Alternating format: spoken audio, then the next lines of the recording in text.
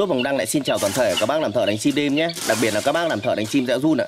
Thời điểm này ngoài miền Bắc thì con rẽ đuôi xòe bắt đầu di cư về rồi. Đấy, Nó đi nó ghép đàn cùng với cái con rẽ đàn ấy. Thì à, các bác à, đợt này đánh thì lưu ý là chúng ta có thể là đánh à, kẹp thêm cái bản tiếng rẽ đuôi xòe Hoặc là kẹp thêm cái tiếng hai vế ấy Đấy, còn ngày hôm nay thì sẽ giới thiệu chi tiết chọn một bộ đồ đánh rẽ để cho anh em cùng tham khảo. Đấy, Đợt này thì đã có hai bản tiếng. Một bản tiếng là chuẩn đuôi xòe đấy, của năm 2023 và bản tiếng là một bản là rẽ đàn đấy, kẹp cộng với cả rẽ đuôi xòe ra hai vế để cho anh em thợ mà yếu kinh tế thì anh em có thể là sử dụng chung được.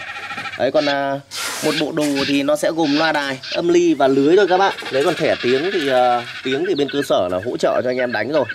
Đó còn à, bác nào mà có đồ rồi đấy mà cần à, gửi chuẩn thì em sẽ gửi một là qua thẻ nhớ khóa vào. Đấy, để đỡ phải người khác xin cho. Cái thứ hai nữa là gửi qua USB USB thì nó đắt tiền hơn các bạn đấy thì các bác tham khảo này nó sẽ có hai cái phương án. Ba cái phương án đầu tiên là sẽ gửi Zalo này. Cái thứ hai nữa là gửi qua thẻ nhớ này. Cái thứ ba nữa là gửi qua USB đấy là tùy các bác nhé. Đấy còn à, đầu tiên thì sẽ giới thiệu là tới cho các bác là về loa đài âm ly trước. Đấy thì à, con rẽ đàn thì chúng ta bắt buộc là chúng ta sẽ phải đánh ở trên cái loa chắc kèn HQ301 này. Đối với cái dòng này thì uh, ưu điểm của nó thì ngoài đánh rẽ đàn ra thì các bác có thể là kẹp đánh đuôi xòe như hiện tại này. Cái thứ hai nữa là đánh rẽ hôi này đấy, cái thứ ba nữa là đánh chẳng nghịch. Đấy, gà nước ấn độ. Đấy, thì trên dòng này hoặc là kẹp đánh trích đánh vạc đánh te thì không thể thiếu được trên dòng này rồi. Dòng này thì giá tiền của nó rẻ và nó là cái hàng việt nam chính hãng các bạn. Đấy, và cái thứ hai nữa là trong thời điểm sẽ đuôi xe đi thì anh em không thể thiếu được cho mình con loa bát nhôm 5W này. Đấy, cái vế mà hiện tại em đang bật cái tiếng là hai vế. Một tiếng là ra cái vế là rẽ đàn một tiếng là vế rẽ đuôi xòe thì đánh ở trên loa bát nhôm này. Đấy thì con loa bát nhôm mới đây anh em này đấy hàng này thì uh, nó công suất của nó là 5W và ngoài đánh kẹp rẽ đuôi xòe ra thì anh em có thể là đánh kẹp đánh te vàng cũng khá là ok. Đấy không thì anh em đánh quốc ta chuẩn này đánh uh, à, mắt đỏ này mắt xéo này thì ở trên cái dòng này thì khá là ok. Hàng này thì độ chống nước của nó rất là tốt anh em ạ. Đấy, dây nguồn làm ra rất là kỹ để cho các bác thợ đánh này. Đấy còn à, à, về loa rồi. Đấy thì đến âm ly âm ly thì à, vẫn toàn bộ là sử dụng trên âm ly 263 thôi nó ra hai cổng đấy thì uh, các bác có thể là kéo được 4 loa. Đấy con âm ly này công suất của nó là 600W thằng này là âm ly 263B anh em nhé.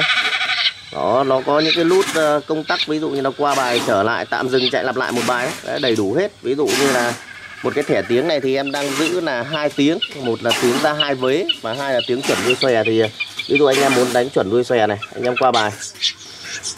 Đấy. đây chuẩn đuôi xòe đấy thì anh em sẽ yến vào cái nút xoay tròn này này. Yến một phát thì nó sẽ nhấp nháy nhanh hơn. Đấy. Thì hiện tại thì nó đang chạy lặp lại một bài đó. Đấy thì nó chỉ chạy mãi một bài này thôi. Trong thẻ nó có 10 tiếng. Mà các bác chốt đến cái tiếng này thì nó chỉ chạy một bài thôi. Đó. đấy không thì uh, ra tiếng hai vế này. Đó. Đây chúng ta sẽ ra tiếng hai vế. Đó ra tiếng hai vế thì nó vẫn vậy thôi. Nó chỉ chạy được một bài thôi anh ạ. Đấy thì anh em lưu ý nhé đấy còn lưới đây. Lưới đánh rẽ thì nó sẽ có hai khổ để cho anh em chọn lựa đó. Một là khổ dài 50 m thì à, anh em đánh khóa trục đấy, khóa cắt ngang bật bàn hoặc là bàn hẹp. Còn một khổ là 100 m thì anh em có thể là đánh chạy dài đường bờ trục. Đó thì à, nó tùy từng ưu điểm của từng loại lưới thì uh, ví dụ địa hình bãi biết của anh em nó ok thì anh em xem ngắm xem là chúng ta sẽ sử dụng 50 hay 100 đấy còn em sẽ tư vấn cho anh em là chuẩn. Ví dụ bãi các bác vào đánh tầm khoảng 4 năm xào thì sẽ có lưới đánh 4 năm xào hoặc là hai ba xào có lưới hai ba xào nhé còn sợi lưới là sợi uh, cước 15 anh em nhé cước 15 đối với cái hàng này thì uh, ưu điểm của dòng lưới này thì năm nay thì được anh em thợ phản hồi lại quá là ok luôn. Đấy lưới làm nhà em làm là cái thứ nhất là không bị chạy mặt. Đấy, và cái thứ hai nữa sợi rất là dai vào bền đấy về cái dòng lưới này thì uh, ngoài đánh rẽ ra thì anh em có thể là đánh te hoặc là đánh chân hương đều được. Còn uh, dây viền thì uh, chạy một dây viền cước đúc này. Đấy và hàng này thì cao 75 mắt thì em làm cho các bác là 4 dây 3 túi nhá. Đấy hàng này thì được gửi khắp cả nước luôn. Đấy năm nay được anh em phản hồi khá là ok. Năm ngoái thì hơi lỗi một tí nó có một cái số lô là bị chạy mặt đấy về anh em đánh thì nó vẫn được chi nhưng ý là sau gỡ nó khó.